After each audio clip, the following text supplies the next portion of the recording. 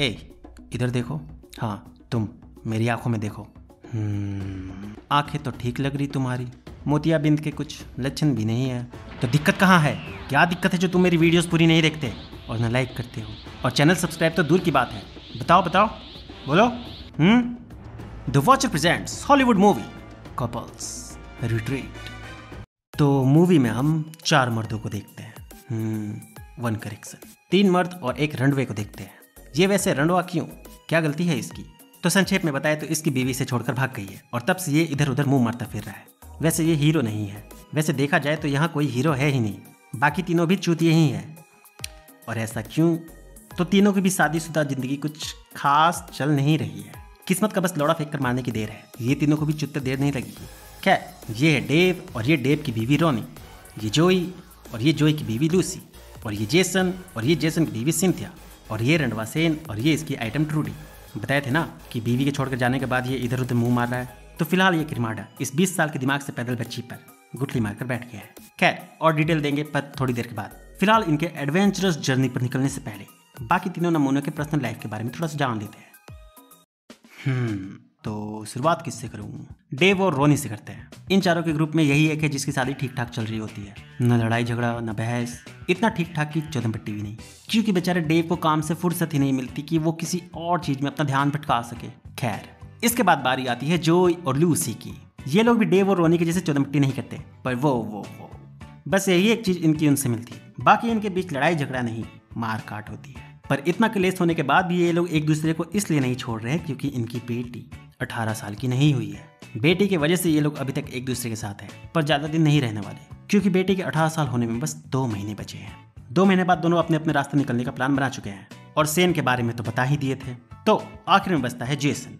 इन तीनों को अपने ग्रुप में किसी की शादी सही सलामत चलते दिख रही होती है तो वो है सिर्फ़ जेसन और उसकी बीवी सिंथिया की। पर अफसोस, दिखने में और होने में बहुत फ़र्क है। तो डेव और रोनी के दो बच्चे रहते हैं, और उनमें से एक का बर्थडे रहता है तो ये सभी इसी बहाने एक साथ मिलते हैं। तो अब यहाँ होता यह है कि बर्थडे के बाद जब सब बात करने बैठते हैं तब यहाँ जेसन इन सबके सामने अपना रंडी रोना रहता है। आई I मीन mean, दुख सुनाता है कि एक साल पहले उन्हें पता चला कि सिंथिया माँ नहीं बन सकती जिसके बाद से उनके रिश्तों में दरार आना शुरू हो गई और बात अब डाइवोर्स तक पहुँच चुकी है। पर क्योंकि वो दोनों एक दूसरे से बहुत प्यार करते हैं तो वो लोग अपने आप को एक आखिरी मौका देना चाहते हैं और इसके लिए उन्होंने एक ट्रिप प्लान किया है। एक आइलैंड है जिसके बारे में ये कहा जाता है। कि वहाँ जाने के बाद बुरे से बुरे टूटे हुए रिश्ते वापस से जुड़ जाते हैं। तो उन लोगों ने वहाँ जाने का डिसाइड किया है। जेसन की बात सुनकर ये लोग उसका हौसला बढ़ाते हैं कि बिल्कुल सही। हम्म हम्म बिल्कुल सही सोचा है उसने। उसे एक आखिरी ट्राई करना चाहिए। ये लोग इसका हौसला बढ़ाने के लिए इसके डिसीज़न पर ताली बजाते हैं। पर पर पर। बात यहाँ इतनी सिंपल भी नहीं थी। जेसन यहाँ इनसे कहता है कि, हराम खोरो, ताली क्या बजा रहे हो? अकेले ट्रिप का खर्चा बहुत था तो उसने उनके लिए भी टिकट बुक कर लिया है। डिस्काउंट मिल रहा था। तो अब उन्हें भी उसके साथ चलना होगा। जेसन की बात सुनकर ये लोग ताली बजाना बंद करके सीधा गाली बकना शुरू कर देते हैं। पर जेसन इमोशनल ब्लैकमेल करने में माहिर था और हाँ थोड़ी बहुत ज्ञान की बातें भी करता है। दरअसल इंसान को जिस तरह खुद की गांड की छेद और कमियाँ खुद को नहीं दिखती, पर दूसरों को बराबर दिखती है। तो यहाँ जेसन को भी इन लोगों के टूटते हुए रिश्ते बराबर दिख रहे थे। तो वो उसी बात का फ़ायदा उठाता है और इन्हें मनाता है। हालाँकि जोई इसलिए मानता है, क्योंकि वो सोचता है कि कम से कम इसी बहाने वहाँ जाकर वो नई नई लड़कियों को ताड़ेगा। और लूसी की भी सेम सोच रहती है। वो भी सोचती है कि वो वहाँ लड़की ताड़ेगी। और सेन ट्रूडी की वजह से मान जाता है। क्योंकि ट्रूडी जवान थी तो वो इस ट्रिप के बहाने उसके सामने कूल बनना चाहता था। पर सिर्फ़ डेव और रोनी ही जेसन की बातों को सीरियसली लेकर इस ट्रिप पर जाने के लिए रेडी होते हैं। पर इसलिए भी नहीं कि इनके बीच दरार पड़ रही थी। इसमें ये लोग कॉन्फिडेंट थे कि उनकी शादी में कोई कमी नहीं है। बस बहुत टाइम से उन लोगों ने साथ में वक्त नहीं बिताया है। तो इसी बहाने वो लोग साथ में थोड़ा वक्त बिता लेंगे। तो ये लोग ट्रिप वाले दिन अच्छे से तैयार और एक्साइटेड होकर ट्रिप के लिए निकल जाते हैं। पर एक सेकेंड क्या लगता है? इन सबने ट्रिप के लिए अपने अपने जो अरमान सजाए हैं, वो पूरा होगा? हम्म? आइए देखते बेंच जो होगा, मज़ा ही आएगा। वैसे इस ट्रिप पर इन सबको लाने के लिए और एक तरह से जिस मेन चीज़ के लिए, ये लोग खास कर आने के लिए रेडी हुए थे। जेसन ने इनसे कहा था कि इस ट्रिप के पैकेज में इंसान को मस्ती के लिए जिस जिस चीज़ की भी ज़रूरत पड़ती है, उस आइलैंड पर उन्हें सब मिलेगा। मतलब अगर जन्नत कहीं है इस दुनिया में तो वो वो आइलैंड ही है। तो अब यहाँ होता यह है कि आइलैंड पर उतरते ही इन्हें पता चलता है कि जिस जिस चीज़ का वादा जेसन ने उनसे किया था, वो सब सच है। आइलैंड वाकई किसी जन्नत से कम नहीं था। पर, उफ, ये पर पर मेरे भाई, पर। जितनी भी मस्ती करने की चीज़ें थी इस आइलैंड पर, वो इनके पैकेज में इंक्लूडेड नहीं थी। वो अलग पैकेज था। जवान छोकरे छोकरी के लिए। इनके पैकेज में, रुको, ये जानने से पहले इससे मिलो। ये है स्टैनली शकल से ये आपको गैंग का बॉस लग रहा होगा, पर भले ही ना हो, पर हरकतें वैसी ही हैं।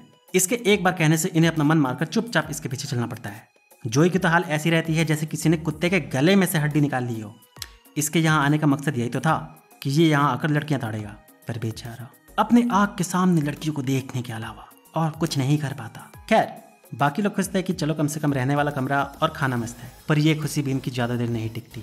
स्टैनली ने खिलाने पिलाने के बाद इन्हें इनके पैकेज के बारे में और रूल्स के बारे में बताता है कि जितने दिन भी वो यहाँ रहेंगे, डेली इनकी क्लास चलेगी। वो भी इस आइलैंड का मालिक खुद उनकी क्लास लेगा। फिर उनके रिश्तों को लेकर थेरेपी चलेगी, फिर योगा क्लास, एक्सरसाइज मतलब हर वो चीज़ जिससे इनका मन समंदर में तैरने की बजाय डूब मरने को करेगा। खैर, ये थी इनकी पैकेज की खासियत। रूल्स की बात करें तो रूल्स सिंपल थे। सूरज निकलने से पहले उन्हें उठना होगा और और एक भी दिन वो लोग अगर पैकेज के टास्क मिस किए तो उन्हें वापस भेज दिया जाएगा। जिसके बाद ये सब सुनकर एज एक्सपेक्टेड एक भी गाली ऐसी नहीं होगी जो इन लोगों ने जेसन को ना दिए होंगे। पर कर भी क्या सकते थे? पैसा तो लग चुका था। तो धमकी के मुताबिक ये लोग ठीक सुबह पहुँच जाते हैं समुद्र के किनारे, जहाँ इनकी मुलाकात होती है मार्शल से। पहला दिन ये इनका बस स्वागत करता है यहाँ आने के लिए, यानी हाय हेलो पर इसके बाद जब ये इन्हें थेरेपी के लिए भेजता है तब यहाँ बाकियों पर तो कुछ खास असर नहीं होता। ये लोग यहाँ आए थे कि इनका रिश्ता सुधरेगा। उल्टा डेव और रोनी के बीच ये लोग और आग में घी डालने का काम करते हैं रोनी को डेव के खिलाफ भड़काकर, कि अब वो उससे प्यार नहीं करता। लास्ट टाइम कब उसने उसके लिए कुछ किया था? तो रोनी को याद आता है, अरे हाँ पिछले कई साल से सिर्फ़ वही है जो इस रिश्ते में कंप्रोमाइज कर रही है। खैर, पहला दिन इसके साथ खत्म होता है। और पहले दिन से मार्शल को इतना पता लग गया था कि ये लोग एक दूसरे को घर की मुर्गी दाल बराबर समझ रहे हैं। तो अगले दिन वो सबको अंदर चड्डी पहन कर आने को कहता है और अपने अपने पार्टनर के सामने चड्डी में खड़े होकर एक दूसरे के शरीर की तारीफ़ करने को कहता है। पर यहाँ एक गड़बड़ हो जाती है। हमारा किरमाड़ा चड्डी नहीं पहना था। मार्शल इसे पूरे कपड़ों में देखकर इससे कहता है कि, बरखुरदार, मैं देख रहा हूँ कि आपने अपने कपड़े नहीं उतारे तो ये मार्शल से कहता है कि, अरे चचा अरे चचा, वो क्या है ना, मैंने चड्डी नहीं पहनी है। यहाँ टकला भूल जाता है कि यहाँ उसकी औकात बंधुआ मजदूर से ज़्यादा कुछ नहीं थी। तो मार्शल इसके पास आता है और कहता है पेंट उतार बेचारा मार्शल की धमकी के बाद इसकी फट जाती है और आखिरकार इसे नंगा होना ही पड़ता है। और एक दूसरे की तारीफ़ करने के बाद फिर से थेरेपी सेशन और इस बार बारी रहती है जोई और लूसी की। ये लोग खुद को तेज समझ रहे थे। इन लोगों ने तो डाइवोर्स का मन बना रखा था। तो ये सोचते हैं कि ये अपने थेरेपिस्ट को चूतिया बनाएँगे, उसके सामने अच्छे से बात कर कर। पर इनका थेरेपिस्ट इनसे ज़्यादा तेज था। पिछले सेशन से ये जान गया था कि ये लोग आपस में बात नहीं करते, इसी वजह से इनका रिश्ता खराब हुआ है। तो ये यहाँ अपनी बातों से इन दोनों में लड़ाई लगवा देता है कि कम से कम एक दूसरे की बुराई करो, पर बात करो। और इसी के साथ ये दिन भी किसी तरह पार हो जाता है। और अब मार्शल देखता है कि ये मर्द अपनी बीवियों की केयर नहीं करते हैं। तो अगले दिन इनकी गांड जलाने के लिए एक हट्टा कट्टा हॉट सा दिखने वाला योगा टीचर को बुलाता है, जो योगा सिखाने के बहाने इनकी खूब गांड जलाता है। और आज लंका लगती है जेसन की। शुरू से ऐसा लग रहा था कि सिंथिया डाइवोर्स लेना चाहती है, पर तीन दिन के थेरेपी के दौरान ये पता चलता है कि असली वजह तो जेसन है। ये जांट इतना बकबक करता है कि अपनी बातों के अलावा किसी की सुनता ही नहीं। सिंथिया को कोई बोलने का मौका ही नहीं देता। उसका सारा टाइम सिर्फ़ इसकी हाँ में हाँ मिलाने में ही पार हो जाता था। तो अब यहाँ इनके बीच भी लड़ाई हो जाती है। और चौथा दिन कुछ खास नहीं होता। पर रात में बवाल हो जाता है।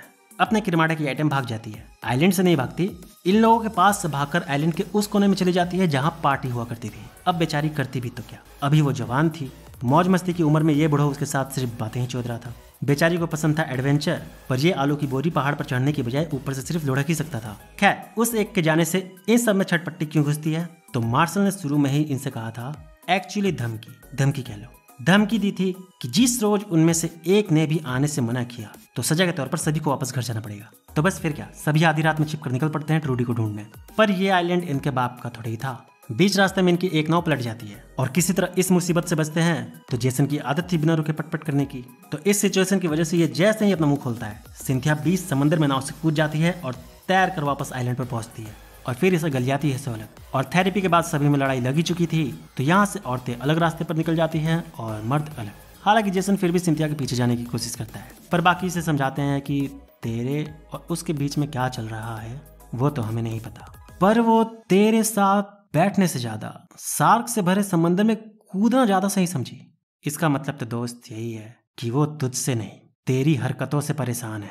इन लोगों की बात सुनने के बाद जेसन को अपनी गलतियों का रियलाइज़ हो जाता है। वैसे इसके बाद इन सब में लड़ाई भी होती है कि तू क्या समझा रहा है? अपने आप को देख। हालाँकि ये ठीक ही होता है। बकचोदी बकचोदी में सभी एक दूसरे की कमियाँ एक दूसरे को गिनवाने लगते हैं। और जो काम थेरेपी और मार्शल नहीं कर पा रहे थे, वो ये लोग खुद ही कर रहे होते हैं। वैसे, जो ही मोटी चमड़ी का था, ये फिर भी नहीं सुधरता। ये अभी भी पार्टी वाले इलाके में पहुंचकर मुँह मारने की फिराक में था। खैर, इसके बाद ये लोग सीधे पार्टी में पहुँच जाते हैं।